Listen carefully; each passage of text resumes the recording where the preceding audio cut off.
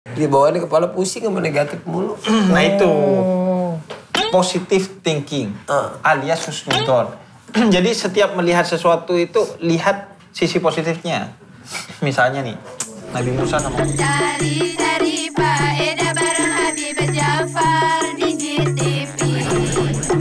Yo. Oh, jadi keluhan dari saudara Dede ini adalah, eh jangan dipegang, mau nyebrang lu salam pegangan.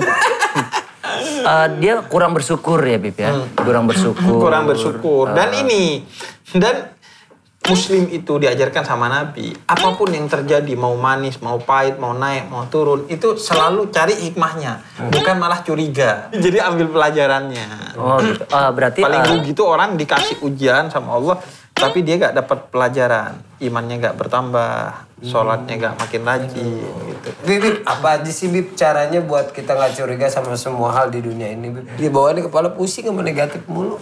Nah itu positive thinking Ah. alias husnudon. Jadi setiap melihat sesuatu itu lihat sisi positifnya.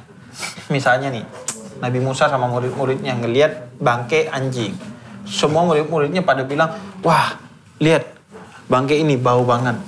Lihat eh, kepalanya berdarah, lihat bulunya rontok. Pokoknya yang dilihat semua keburukannya. Nabi Musa bilang, kamu nggak lihat tuh giginya rapi dan putih banget. Maksudnya selalu melihat sisi positif. oh positif thinking. Positif thinking. Nah orang kalau hatinya positif, yang keluar dari lisannya itu selalu positif, yang terlihat dari matanya itu selalu positif.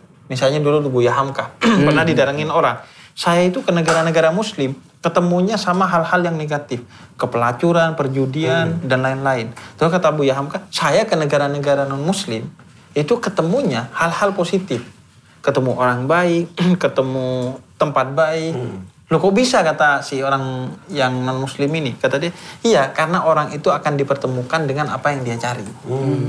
Jadi tergantung lo kalau nyari hal-hal yang positif, ketemu tuh positif. Segala sesuatu itu pasti ada manfaatnya. Nggak ada yang negatif semua. Tapi kalau udah bawaannya curiga, udah Negatif mulu. Iya, ke masjid curiga, ntar sendal hilang, ntar ini, ntar itu. Oh jadi eh, penyakit dari saudara Dede ini adalah Oh pertama- namanya Dede. Kan tadi udah, di- diulangin mulu. Eh, mungkin mungkin masalahnya eh, tentang kehidupannya berpengaruh kali Bip ya. Kayak dia kalau ngelihat kalender itu akhir bulan itu udah gelagapan ya, gelagapan ya. Mm-mm. Emang kalendernya cuma 29 sampai 30 doang. yang satu sampai dua sampai dua delapan nggak ada. Nggak ada. Itu. Itu kan kan kayak ada orang yang bilang begini, wah hari sial nih kalau ha- akhir bulan nih. Dia. Iya kan? Nah itu itu nggak ada semua hari baik kalau di Islam. Cuman kalau sudut pandang kita udah sial, sial beneran tuh. Sugestinya yang bikin Oh sial. berarti dari positif thinking juga Bib ya? Positive Pikiran thinking, negatif udah iya. pasti. Ibarat pengen buka nih, pengen buka usaha nih. Ah hari tanggalan semuanya baik terus kata Bang, kayaknya Jumat lebih baik deh. Itu tergantung kitanya Bib. Tergantung kepada kitanya. Kalau kita nganggap wah hari ini buruk buruk beneran, yang bikin buruk bukan harinya tapi Oh, pikiran kita, kitanya. pikiran kita. Saya ingin bertanya lagi pada saudara Dede. Ah, terima kasih. Enggak, jangan terima kasih dulu maksudnya. Ada keluhan lain selain tadi eh, kurang bersyukur. Mungkin dari keluarga? Jadi keluhannya tuh sekarang istri sama anak-anak tuh lagi pada sakit Bib. Oh bagus. bagus. Oh, bagus. Ya kan gitu, positive thinking itu berarti mau dikasih rezeki. Menggugurkan dosa. Masya Allah. dosa. Lagi sakit Bib kebetulan dan udah tinggal lagi masa penyembuhan sih sekarang sih Bib. Cuman itu gimana ya Bib? ya? Apanya gimana? Cara ngatasinnya gitu. Kayak misalnya istri sakit, nggak lama anak sakit, anak lagi sakit, kitanya juga ikut sakit. Itu gimana ya Bib? ya? Itu artinya kita sekeluarga dicintai sama Allah. tuh. Masya Allah. Iya kan? Alhamdulillah. Dikasih ujian bersama. Makanya orang baik tuh bersabar atas ujian. Tapi kalau orang luar biasa itu bersyukur justru. Karena di balik ujian tuh ada kabar gembira. Ada apa tadi pengguguran dosa. Pengguguran dosa. Ada diterimanya doa-doa. Ada semakin dekatnya hubungan kita dengan Allah. Banyak tuh hikmahnya. Yang penting dicari hikmahnya. Habib, berarti kalau misalnya sakit itu- adalah rezeki, rezekinya dalam bentuk apa aja dong? Nah itu pertama dalam bentuk iman dan Islam tadi.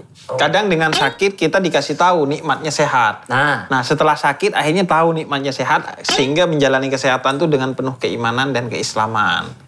Jadi badan sehat dipakai untuk ke masjid, Masjid. mumpung sehat. Mumpung sehat. Em, eh, badan sehat, apa duit banyak digunain untuk sedekah, mumpung punya duit. Duit. Masih muda digunain untuk nolongin orang lain, mumpung masih Tenaga, muda, tenaga. tenaga. Jadi jadi itu yang paling penting. Yang kedua akhirnya menyadari nikmatnya sehat, bahwa sehat aja ini rezeki. Kadang orang nih dikasih sehat dia masih aja ngeluh. Ah, nggak ada duit nih padahal Padahal dia bentuknya sehat. Sehat, sehat itu Bisa rezeki. bekerja apa aja. Bib. Betul. dan dan juga kadang kita nggak sadar nih bahwa rezeki itu kadang dalam bentuk rasa cukup. Oh cukup. Iya, kadang kita nih udah dikasih banyak, hati nggak ngerasa cukup, akhirnya nggak pernah syukur. Dikasih sedikit juga, ya emang nggak cukup. Emang nggak cukup. Malah ngeluh ya. Kadang orang nih dikasih sehat dia masih aja ngeluh. Ah, nggak ada duit nih, padahal Padahal dia bentuknya sehat. Bib. sehat, sehat itu Bisa rezeki. bekerja apa aja. Bib. Betul. dan dan juga kadang kita nggak sadar nih bahwa rezeki itu kadang dalam bentuk rasa cukup. Oh cukup. Iya, kadang kita nih udah dikasih banyak, hati nggak ngerasa cukup, akhirnya nggak pernah syukur. Dikasih sedikit juga, ya emang nggak cukup. Nggak cukup. Malah ngeluh ya. Malah ngeluh akhirnya, akhirnya nggak ditambah. Padahal kunci di antara nambah rezeki dari delapan pintu rezeki itu adalah bersyukur. Oh, bersyukur. La in syakartum la azidannakum. Kalau bersyukur nanti ditambah. Tuh. Kadang kita kayak gitu Bib ya. Gimana? Ada orang yang eh, baik ya kan secara rezeki karena secara iman juga dia sholatnya rajin, ibadahnya sedekahnya rajin. Tapi ada orang yang memang rezekinya bagus nih Bib. Banyak ya kan dikasihnya. Tapi ya mohon maaf nih, ibadah ya kagak. Sedekah boro-boro. Tapi dikasih terus. Makanya jangan jangan selalu melihat eh, bahwa banyaknya rezeki yang kita dapat itu simbol bahwa Allah cinta kepada kita. Dan jangan juga sebaliknya ngelihat kalau hidup kita sulit, oh berarti Allah gak sayang sama kita. Karena kadang luasnya atau lapangnya rezeki yang diterima oleh kita itu disebutnya istidroj. Istidroj. Hmm, istidroj. Jadi kita tersesat maka akhirnya Allah gak urusin Oh, kita sehingga kemudian dibiarin dengan harta kita semakin tersesat. Nah kalau kalau Allah perhatiin kita maka kadang bentuk perhatiannya itu tadi kalau kita sakit kita dikasih obat obatnya itu pahit berupa ujian. Makanya kita tuh diajarin eh, doa ya Allah undur ila abdi. Ya Allah lihat saya nih. Nah ketika dilihat sama Allah, diperhatiin sama Allah, nggak mesti selalu berita gembira yang datang kepada kita. Tergantung. Kayak gini deh, hidup tuh. Iya. Kalau jantung tuh kan begini, seret, seret. Kalau lurus mati artinya kita. Iya, mati. Nah hidup tuh kadang susah, kadang susah banget. Tinggi banget sih tadi. Enggak, kadang seneng kan. Jadi itu bagian dari hidup, cara Allah untuk menjaga kita. Lagian kalau hidup seneng terus, akhirnya kita nggak tahu nikmatnya tahu nik- senang. tahu. Bosan, bosan. Bosan. Gue sih kagak ya. Kalau lo mikir, orang paling banyak ujiannya itu adalah Nabi Muhammad. Masya Allah. Padahal orang termulia. Seharusnya kalau Mulia kemuliaan aja. itu iya identik dengan hidup enak. Seharusnya paling enak hidupnya Nabi Muhammad. Nabi Muhammad. Hmm-hmm. Sedangkan Sedangkan masih dikasih ujian. Bib. masih dikasih ujian. Di antara manusia yang paling enak hidupnya, crazy rich di semua zaman itu Fir'aun. Oh malah Fir'aun. Iya, padahal beliau dilaknat tuh. Iya, laknatullah lagi. Iya, dilaknat sama Allah. Jadi artinya jangan pernah mengukur kasih sayang Allah itu dengan hal-hal yang sifatnya duniawi. Materi. Materi. Bahkan tuh sebenarnya ya, kalau kita beneran cinta dunia, dunia kita tuh kita bagiin ke orang. Karena artinya dunia itu akan dibawa mati. Karena apa yang dibagikan itu dibawa mati. Apa yang disimpan kalau dimakan jadi kotoran, kalau disimpan jadi warisan nggak bermanfaat buat diri kita. Jadi sebenarnya the real orang yang cinta dunia itu orang yang suka sedekah karena dunianya dibawa mati. Nih kalau gitu saya kasih resep ya. Oh iya Beb, kasih resep nih Beb. Boleh Bib. Masya Allah. Duh, kesian nih. Kasih yang bagus Bib, ininya resepnya. Iya saya kasih yang bagus. Wadahnya tipis banget, kayak dompet maling. Hei, Dede. Ini yang pertama husnudon ya. Husnudon. Aduh. Husnudon sama Allah sama makhluk. Terus yang kedua saya kasih istighfar nih. Allah. Mohon ampun sama Allah. Biar nggak jadi penghalang doa. Oh. Yang ketiga itu bersyukur biar bertambah rezekinya. Nah, yang keempat tuh doa. Jadi jangan cuman usaha fisik, usaha juga batin, pakai doa. Tuh. Nah, itu itu di masjid ngambilnya. Resep faedah. Ini namanya Resep resep faedah. Masya Allah. Ya, Resep buat faedah. Anda.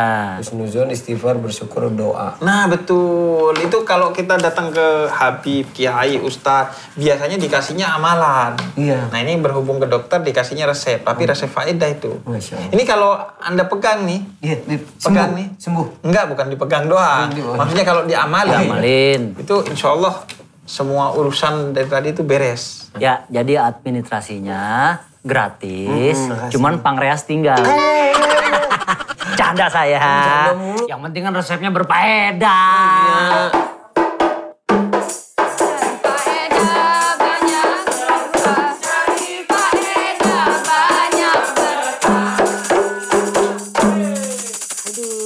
Bu, bu, bu, udah bu, udah pulang bu. Nih, mau buat ini nggak nih? Dadar gulung.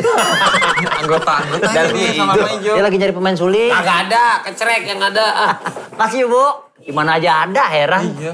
Padahal ini di dalam ruangan loh. Siapa yang nyuruh masuk? Security! Hei. Udah, itu resepnya dibawa pulang. Udah pulang. Udah, cepat. Langsung ke masjid. Oh, mau sholat? Ngambil sendal. Sini ikut. Itu, Bib. Makasih banyak ya. Assalamualaikum warahmatullahi wabarakatuh. Waalaikumsalam. Eh, nggak ikut. dulu.